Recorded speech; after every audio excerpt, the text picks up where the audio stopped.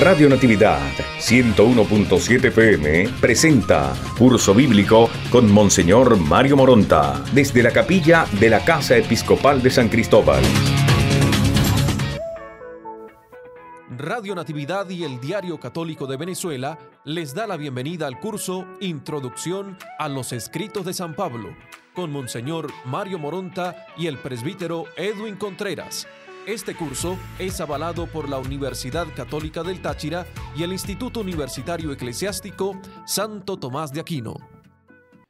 Un cariñoso saludo para todos ustedes. Estamos eh, retomando otra de las cartas de San Pablo. Vamos a hablar ahora de una de las cartas más estudiadas por parte de la Iglesia, la carta a los romanos. Mi saludo y esperando que el Espíritu Santo nos siga iluminando en este curso de eh, más que curso, una aventura para descubrir la personalidad fascinante de San Pablo, pero sobre todo lo que él con tanto entusiasmo supo transmitir tanto en sus escritos como en su ministerio y en su vivencia personal, el Evangelio de Jesucristo. La carta a los romanos, la más quizás estudiada, no una, sino quizás la más estudiada por parte de la Iglesia católica y no católica, e incluso por gente no creyente o no, o no cristiano. Es uno de los escritos paulinos más leídos, incluso por no cristianos. Muchos buscan en ella, en esta carta, una especie de resumen o de tratado de teología. Sin embargo, esa no es la mentalidad de Pablo, de querer presentar como una especie de manual de teología. Pablo va a enfrentar algunos temas como bien lo sabemos, desde la perspectiva del apóstol de Jesucristo, como, como titula esta carta dirigida a los romanos, con una responsabilidad misionera y de pastor de los gentiles. Por eso escribirá con su estilo propio y hará, como lo comprobamos en todos sus escritos, una transmisión de su experiencia como creyente, como hombre dedicado a la iglesia y como fiel y coherente trabajador del Evangelio. Hay que entender que es una carta dirigida con toda la intencionalidad del maestro de la fe y de la fe para sus interlocutores.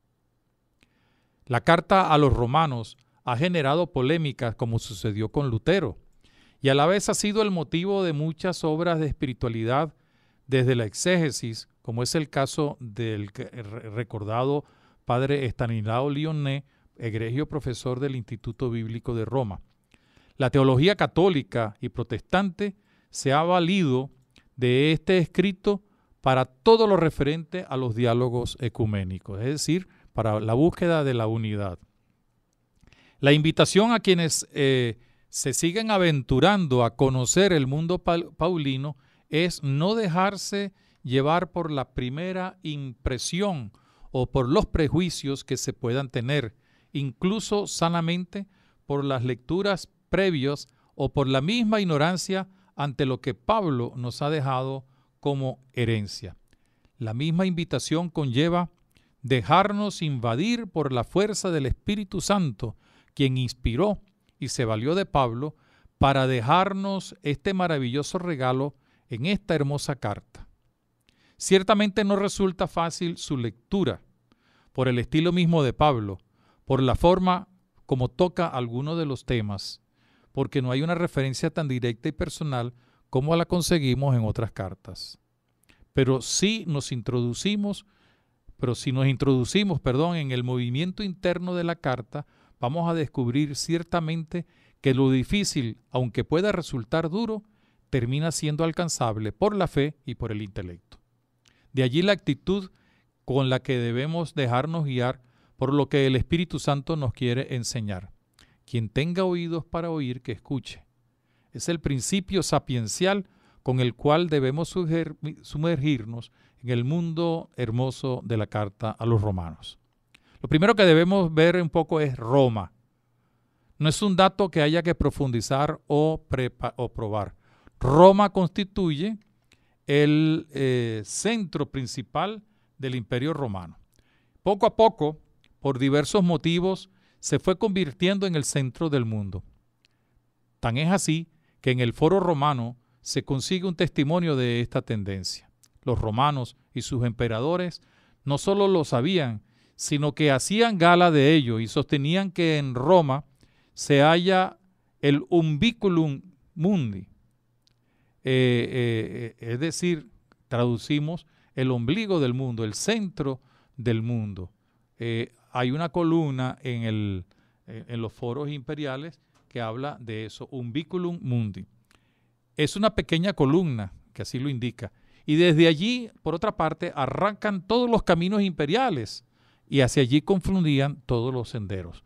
Desde allí salían y hasta ahí llegaban todas las vías imperiales, la vía Aurelia, la vía Apia, la vía Casia, etc. Roma, además en el mundo europeo de la época e incluso hoy, ocupaba un puesto privilegiado en lo geopolítico.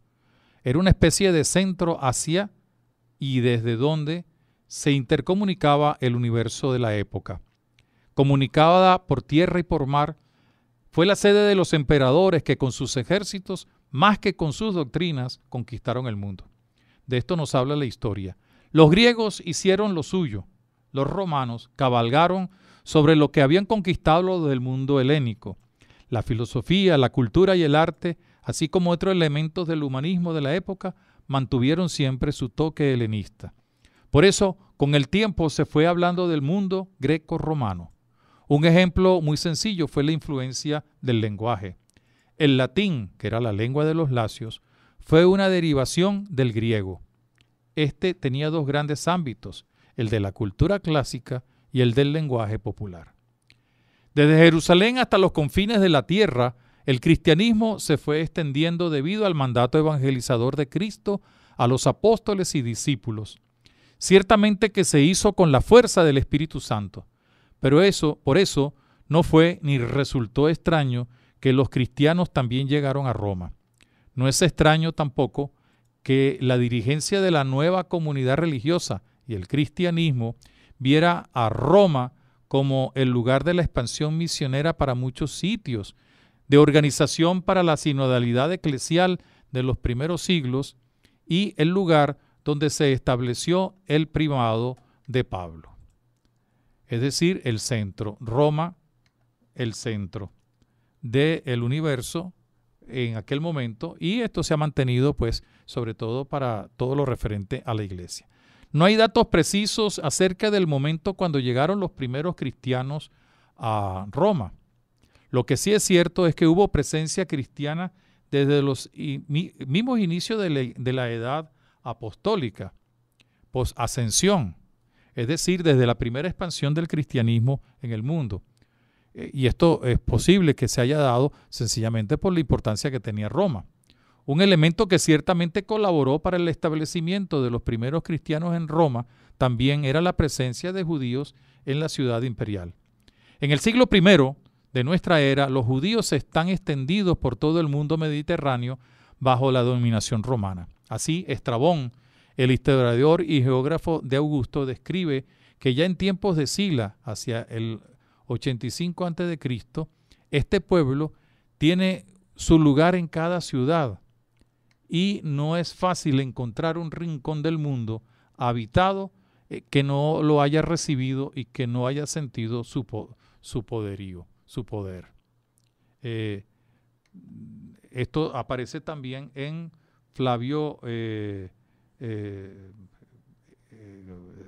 Flavio Josefo, en lo referente pues, a, su historia sobre las guerras judías. El cristianismo que venía desde Jerusalén fue encontrando un primer lugar de acogida en las comunidades judías de la época en todo el mundo grecorromano. En no pocas ocasiones esto generó serias dificultades, como el mismo Pablo lo refiere en algunos de sus escritos y son señalados en el libro de los Hechos de los Apóstoles. El cristianismo fue a la vez entusiasmando y seduciendo a no pocos paganos, quienes comenzaron a ver en la nueva doctrina un camino mucho más seguro que el de las religiones paganas y los cultos a los ídolos. Había una razón particular. Se trataba de seguir a una persona con un mensaje exigente pero refrescante, donde se podía ir también percibiendo la fuerza de un Dios de salvación que se conjugaba con el esfuerzo humano de cada creyente y esto se va a notar de manera particular en la carta a los romanos. El cristianismo, por su parte, fue ganando terrenos en las diversas clases sociales y hasta en el ejército imperial, pero de manera especial tuvo una acogida entre los más pobres y los excluidos, los huérfanos, las viudas, los pobres, forasteros, esclavos, incluso los judíos que se encontraban en Roma, que eran más bien pobres y de escasos recursos. Los, judíos de Roma eran económica y culturalmente pobres. Se comprueba en las mismas inscripciones funerarias, a menudo llenas de faltas de, ortografía. Y vemos también allí cómo practicaban todos los oficios menores, estibadores o vendedores, como aquella mujer que vende sueños y enseña a sus hijos a pedir limona en los buenos sitios. Sin embargo, a pesar de no ser tan aceptados por la gente, en algún momento lograron tener la aceptación del emperador, a excepción de Calígula, sobre todo. La actitud favorable de los emperadores con los judíos no coincidía con la hostilidad popular. Especialmente Julio César lo sostuvo con firmeza. Cuando el emperador suprimió todos los colegia, es decir, las asociaciones profesionales o religiosas mezcladas muchas veces con la política, exceptuó a los judíos. Claudio volverá a atenderlos, aunque llegó el momento de dar un decreto para expulsarlo, aunque hacía más referencia a, los judíos cristianos, más que a los judíos eh, de, la, de, la, de la antigua alianza. Con esta indicación podemos ahora dar algunas informaciones sobre la presencia de los primeros cristianos en Roma. La primera mención que se conoce de los cristianos es la que hemos mencionado de parte de Suetonio. No hay noticias ciertas de su llegada ni la forma como lo hicieron. Sabemos que llegaron, pero no hay una noticia cierta, una analítica o una, eh, unos anales al respecto. Tampoco hay noticias de si fueron fundadas por algún apóstol en particular. El mismo Pablo ni siquiera menciona a Pedro en su carta a los romanos. Algunos autores, al referirse a dicha expulsión, apelan, la que dijimos hace un momento, a una idea muy peculiar que sostenían antes y aún hoy en día los cristianos, su seguimiento a un rey con un nuevo reino. Roma era el ambiente político menos propicio e indicado precisamente para poder hablar de esa doctrina o de ese tema. No falta quienes hablen de cómo esta expulsión favoreció más a los cristianos que se convertían al cristianismo que a los mismos judíos, eh, a, los, a, los que, a los judeocristianos. Cabe preguntarse entonces si como consecuencia de semejante expulsión no cambiaría más aún el aspecto ya diversificado de las comunidades romanas en beneficio precisamente de los paganos cristianos. Por otra parte, es a estos últimos a los que el apóstol se dirige en primer lugar, como dice el versículo 6 del capítulo primero de la carta a los romanos. De hecho, ¿cómo no reconocer eh, un extraño desnivel entre los ambientes judíos y culturalmente eh, eh, judíos, religiosa y culturalmente pobres? No se les puede atribuir ningún apócrifo judío y los destinatarios de, eh, de Romanos que para comprender esta carta tenían que desplegarse seguramente amplios eh, conocimientos bíblicos y teológicos. Eso es algo que se preguntan algunos autores.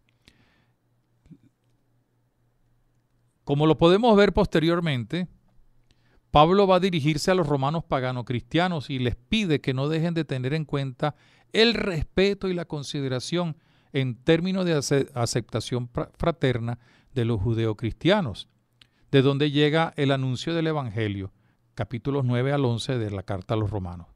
Como bien lo decía Perro, los destinatarios estaban como un poco más capacitados para entender lo que Pablo, para entender lo que Pablo les quería comunicar. Y la carta a los romanos va a servir ciertamente de puente para esa aceptación entre los diversos grupos nacidos del cristianismo para evitar que hubiera divisiones como se había experimentado en otros sitios como Corinto. Ya en la, en la manera como se dirige Pablo a los, a los romanos, cristianos que allí hacen vida, no se refiere a ellos como tales, sino como hermanos queridos. Y hay un dato importante, el saludo conlleva dos palabras, uno de origen más judío, shalom, la paz, y otro de un ambiente más nuevo, haris, la gracia. Con ello está indicando lo que antes mencionamos, que se dirige Pablo a todos para establecer que no hay distinción entre judíos y no judíos, pero que al hablarles más directamente a los romanos, le va a insistir lo que en los capítulos 9 al 11 va a enfrentar de manera directa. No puede haber ni separación, ni división, ni enfrentamiento, ya que el origen es el mismo para todos. En la Roma ciudad imperial nos vamos a conseguir poco a poco dos tipos de cristianos, los que vienen del judaísmo, judeocristianos, y los que vienen de la cultura griega, greco-romana, los llamados heleno-cristianos. Estos representan las siguientes características. Los judeocristianos eh, exigen la circuncisión de los paganos convertidos a Cristo. Querían hacer judaizar a estos paganos. Son de origen generalmente tradicional. Santiago y Pedro, que son los paganos convertidos, dicen ellos, deben respetar ciertas reglas para manifestar ser temerosos de Dios. Pablo y algunos judeocristianos helenizantes admiten en la iglesia a los helenos cristianos sin ley como miembros, sin ley antigua, pues, eh, eh, sin, eh, sin, ley como miembros de, de pleno derecho. Y algunos judeocristianos libertarios que fuerzan la tesis de Pablo. Los helenos cristianos son los que se han convertido del paganismo greco-romano y algunos otros extranjeros también. Eh, son generalmente temerosos de Dios al estilo de, de, los eh, paganos. Siguen, este, son los judaizantes los que los, persiguen un poco y eh, como ciertos gálatas hay influencia de de falsos maestros, de falsos eh, evangelizadores. No solo a él, pero especialmente a Pablo le tocó lidiar con estos grupos de cristianos con sus tendencias. Y en medio de ellos no solo crear, sino sostener la unidad, que será una de las tareas que se verán en sus escritos. Pedro y Pablo estuvieron en Roma. Pedro habría estado dos veces, una primera escapando o refugiándose de una de las tantas persecuciones que se realizaron contra los primeros discípulos. Y la segunda, cuando ya se estableció de manera definitiva en Roma y donde se produjo ya su muerte. En el caso de Pablo, habría asumido la dirección de la comunidad de Roma desde el horizonte de su vocación y misión en medio de los gentiles. Luego de haber realizado varios viajes, ve la posibilidad de ir a Roma para luego desde allí ir a España, ir a Portugal e ir a la Galia, es decir, a Francia. El hecho de que Pablo dirigiese su carta más conocida y más importante a una comunidad que era la desconocida, requiere sin duda de, eh, de ningún género una explicación. La ocasión se le brindó, se le brindó el proyectado, proyectado viaje a Roma, eh, que no pudo llevar a cabo por, eh, a causa del encarcelamiento en Jerusalén, como primera etapa de un viaje apostólico que pretendía ser España. Roma era la cabeza y por ello el apóstol debió tomarse muy a pecho el ganarse a su comunidad para sí y para su evangelio. Y era prudente y tal vez hasta necesario eliminar de antemano los equívocos de deformaciones acerca del evangelio paulino. Pero junto a esta razón, más de orden estratégico, hemos de enfatizar en la conciencia de su apostolado misionero que lo llevaba a tener una seria preocupación por las comunidades que había asumido bajo su responsabilidad. Por eso Pablo va a dirigir su carta a una comunidad que tiene unas connotaciones particulares y sobre todo la posibilidad de una mayor protección, proyección del cristianismo o del Evangelio de Jesucristo.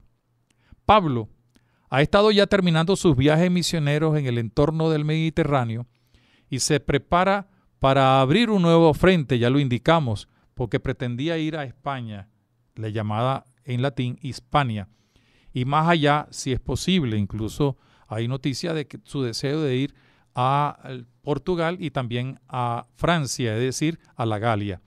Su plan incluía Roma, que deseaba visitar desde hacía algún tiempo, pero antes debía cumplir con otra tarea y era la de llevar o hacer llegar la colecta promovida en las iglesias de la gentilidad a favor de la Iglesia Madre de Jerusalén.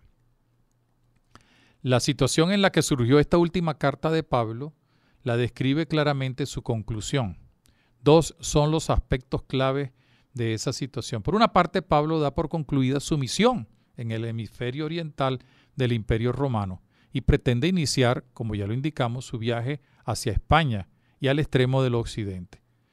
Lo que intenta con la carta es que la comunidad de Roma, a la que piensa ir pronto, le ayude en esa nueva misión en Occidente. Esto explica el hecho excepcional, único dentro de la práctica paulina, de que esta carta esté dirigida a una comunidad no fundada por el equipo misionero de Pablo. Al no existir ninguna comunidad paulina en Occidente, Pablo tiene que dirigirse a la comunidad más importante de allí para recomendar su futura misión en el hemisferio occidental y para ayuda al objeto y para que recibir o pedir ayuda al objeto de poder realizarla. Pablo les va a escribir desde su condición de apóstol de las naciones donde les propone su manera de entender y predicar el Evangelio del Señor. Como ya dijimos, Pablo está terminando de preparar lo relativo a la colecta y se dispone a ir de nuevo a Jerusalén. Por eso, en cierto modo, la carta a los romanos avisora su estadía futura entre ellos, entre los romanos. Según las noticias de la misma carta, esta se escribe un poco antes del inicio del viaje a Jerusalén con la colecta hacia la, primavera del año 55 y sería escrita en Corinto. En, Roma, en Romanos 15, 26 se citan las comunidades de Macedonia y Acaya, porque Pablo está ahora en el ámbito de esas regiones de Grecia. En ese tiempo de relativa calma, que significó su última estancia en Corinto, a la espera de emprender el viaje a Jerusalén, Pablo tuvo ciertamente el tiempo y la tranquilidad suficiente para reflexionar detenidamente sobre su misión y los centros del Evangelio. Fue así como pudo redactar con cuidado esta larga y madura carta en cuya confección emplearía bastantes días e incluso semanas. Algunos autores consideran que esta carta es una especie de testamento de Pablo, sobre todo porque ya va sintiendo que su misión puede ir llegando a su fin y porque a la vez quiere puntualizar sobre algunos elementos referidos al Evangelio que él ha predicado y con el cual ha guiado su misión apostólica. También se aclara desde el horizonte de la carta su cierto carácter de testamento. Al tener que presentar y justificar el Evangelio y la misión de Pablo, la carta tiene que abordar los temas claves de la proclamación paulina, muchos de los cuales figuraban ya, aunque no tan desarrollados, en las cartas anteriores. La carta se puede considerar efectivamente como una recopilación de la reflexión fundamental de Pablo y de su escuela. Lo importante al leer, meditar y estudiar esta carta es poder entender la intencionalidad del escritor sagrado. Pablo, insistimos, expondrá las principales razones y argumentos a favor de su evangelio, que es el evangelio de Jesucristo, ciertamente. Pero los que enfrenta los mira desde una perspectiva muy especial. La acción de Jesús en medio de la humanidad que provoca la justificación, es decir, la salvación, eh, desde como una herencia que ha recibido el pueblo de Dios y su apertura a la universalidad del mundo evangelizado. Y a la vez cómo se puede vivir esa justificación, salvación, desde la vida bautismal y el cambio que se produce en cada uno de los bautizados, de lo cual tendremos oportunidad de eh, prestar atención al ver el esquema general de esta carta. Prácticamente nadie niega ni la autoría ni la eh, autenticidad de la carta de San Pablo. Fue escrita en Corinto mientras Pablo permanecía allí por la razón que ya hemos indicado. La composición de la carta es transparente y hábil. En la primera parte desarrolla el apóstol las ideas capitales de su predicación acerca de la justicia de Dios sin las obras de la ley mosaica sobre la base exclusiva de la fe en Jesucristo. Para ello parte de la realidad concreta y visible que le rodea, con un realismo implacable desde el punto de vista de la verdad del Evangelio, que anula cualquier ilusión personal, expone Pablo la situación auténtica de los paganos y de los judíos, describiendo como lúgubres, con lúgubres colores la depravación moral de todos los hombres que se resisten a cualquier conocimiento de Dios, posible también para ellos, niegan a Dios su honor incurriendo así en la ira divina. Sobre este oscuro fondo hace resaltar con tanta mayor luminosidad la justicia de Dios, que en definitiva es amor y gracia, la actuación de Dios en Jesucristo que opera el perdón universal. El telón de fondo es la historia de la salvación. Por ello, en los capítulos 9, 10 y 11, va a conjugar la historia del pueblo de la nueva alianza como heredero de la antigua alianza y cómo el seguir a Jesús, para lo cual se debe participar en el bautismo, produce una transformación.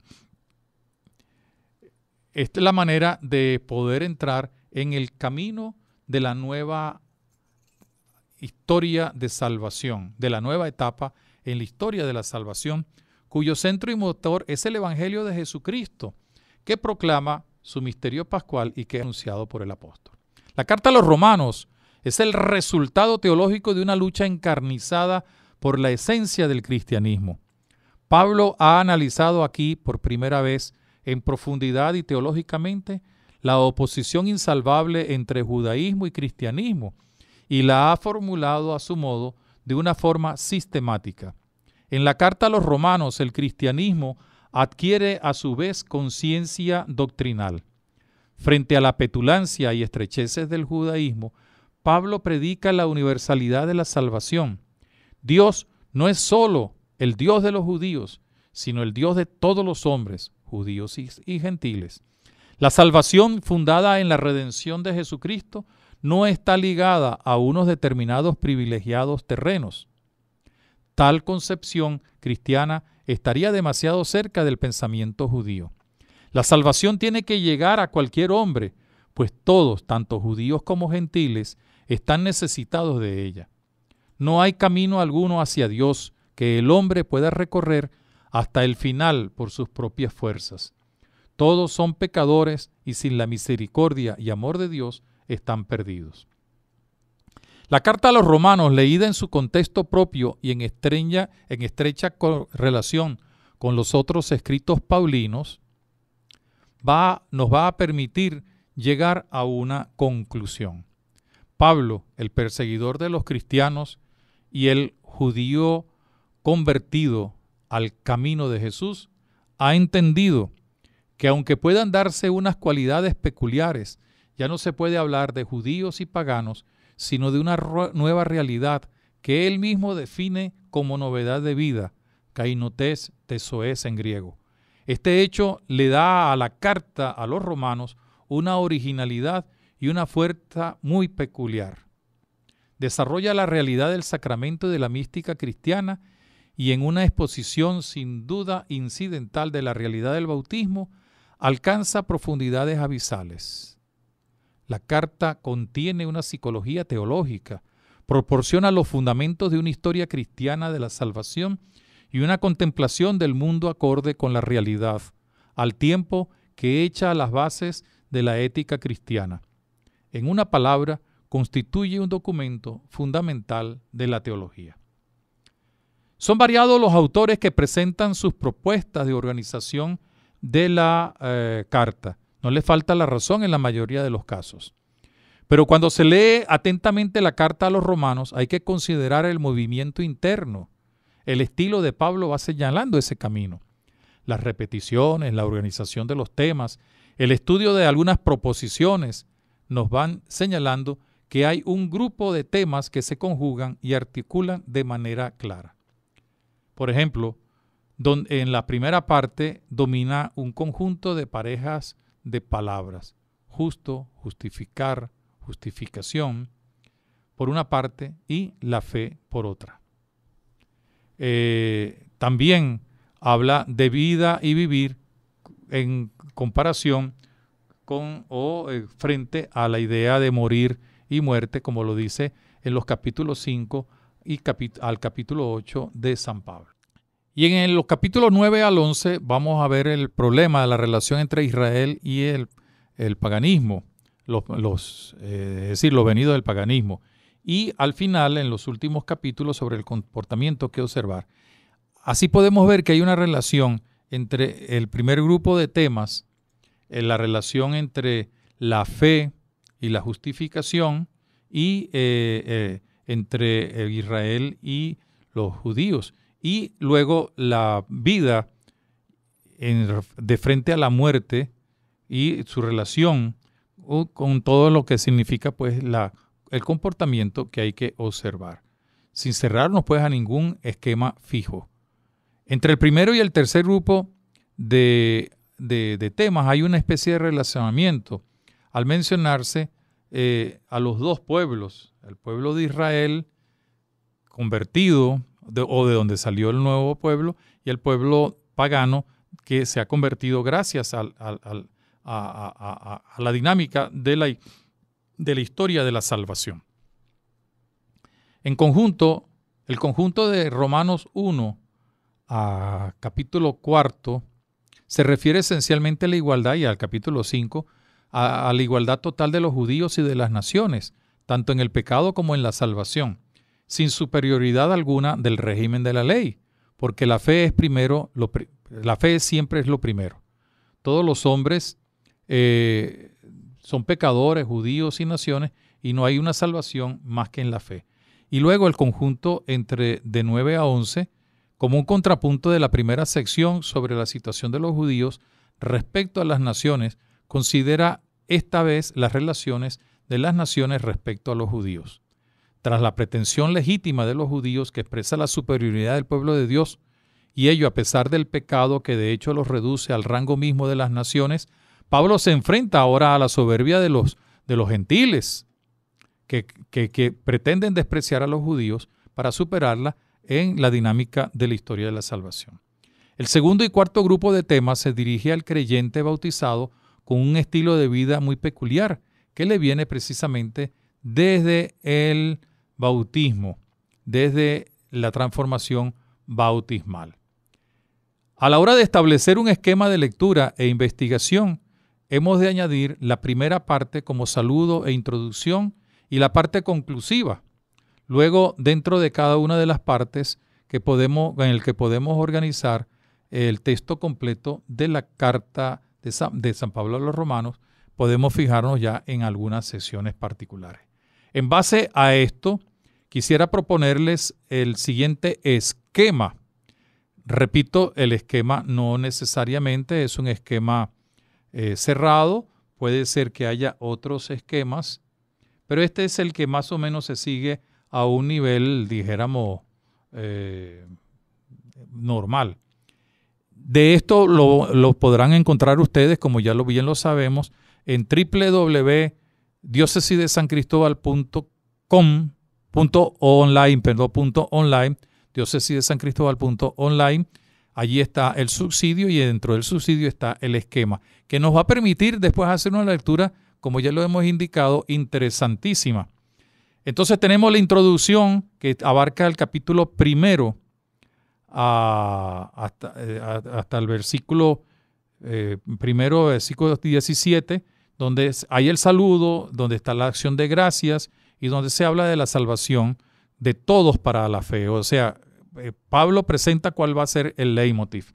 Y luego nos vamos a encontrar con cuatro partes, la primera y la tercera, que coinciden. La primera eh, habla de la condenación de todos eh, hacia llegar a la salvación de los creyentes. Habla del pecado, de cómo todo el hombre está afectado, cómo el judío también es pecador, pero este, se salva por la fe una fe que viene de Abraham. Y en la, la tercera parte que nos habla eh, del misterio de Israel, la constatación de, una realidad, el pueblo de Israel es el pueblo de la primera alianza, de donde surge la salvación por la fe para, también para los gentiles. Y es la salvación de eh, la historia de la salvación la que permite esta visión. Eh, la, segunda, la segunda parte y la cuarta, segunda sección y cuarta, pues coinciden. La segunda sección que va del capítulo 5 al 8 habla del paso de la muerte a la vida, de la ley al espíritu. Habla de la reconciliación eh, realizada por el nuevo Adán, el bautismo con el señorío de la gracia, la liberación eh, ante, el, ante, el, pecado y ante la ley, la experiencia de, la vida según el Espíritu. Y en la última parte, los capítulos 12 a, 15, donde, versículo 13, donde hablará de las relaciones con los demás, partiendo de un principio fundamental, que es la transformación del bautismo que nos ha convertido a todos nosotros en ofrendas vivas. Y al final, el capítulo 16 en adelante, todo el capítulo 16, pues el final de las cartas. Esto nos lleva a pensar en varias cosas que son importantes ya para ir terminando. San Pablo pues nos presenta en esta carta a los romanos como cuatro grandes ideas. La primera de ellas es la historia de la salvación. La historia de la salvación que abarca al pueblo de Israel y que abarca al paganismo y que gracias a la acción de la resurrección de Jesucristo, pues eh, se introduce la justificación, que no es otra cosa sino la salvación. Una segunda cosa que es importante es la vida del creyente, que eh, eh, implica la identificación con Cristo a través del hecho maravilloso del bautismo, la transformación, que introduce y sumerge al creyente, capítulo 6 concretamente, eh, en la pasión, muerte y resurrección, para luego tener la vida según el Espíritu y actuar con algunos criterios concretamente como ofrendas vivas en su relación con los demás, en su relación eclesial. Y una cosa que es importantísima también como tema de esta, de esta carta es que ciertamente eh, está la centralidad del Evangelio de Jesucristo no es tanto la historia de Jesucristo, que es importantísima, ciertamente. Pablo no se preocupa tanto de ella como lo, harán los evangelistas, sino de la persona. Pablo se preocupa de la persona de Jesucristo el Señor, el Evangelio de Jesucristo. Hemos terminado con estas ideas la introducción a la carta de San Pablo eh, a los romanos. Yo quiero invitarles, como lo he hecho con las otras cartas, a que cuando lean la carta a los romanos, que es una carta un poco más larga, 16 capítulos, lo hagan, ojalá que siguiendo estas indicaciones y, con esta introducción, amén de otras que puedan descubrir tanto en sus libros de, investigación como en las mismas introducciones que muchas veces encontramos en la, eh, en, eh, al inicio de cada una de las cartas de San Pablo en la Biblia. Cualquier indicación, cualquier pregunta, no olviden de hacerse, hacernosla llegar a través de intropablo.gmail.com y no se olviden que en eh, diócesis de San Cristóbal.online está esta información ya subida, eh, una información eh, sobre estas cartas de San Pablo, con, donde también está pues el esquema a seguir. Termino, además de invocar al Espíritu Santo para que nos siga ayudando, a decirles que ojalá que la lectura de la carta de San Pablo a los romanos nos termine de hacer entender cómo estamos metidos nosotros hoy también como herederos de esa decisión de Dios en la historia de la salvación. Que Dios nos bendiga, que San Pablo siga intercediendo por nosotros y que seamos capaces de ser caminantes en la novedad de vida, como nos enseña San Pablo en el capítulo 6 de Romanos. Que Dios nos bendiga. Hasta la próxima sesión. Curso Introducción a los Escritos de San Pablo. Acceda a todo el material de las lecciones en www.diocesidesancristobal.online. Para más información, escríbanos al correo electrónico intropablo.gmail.com.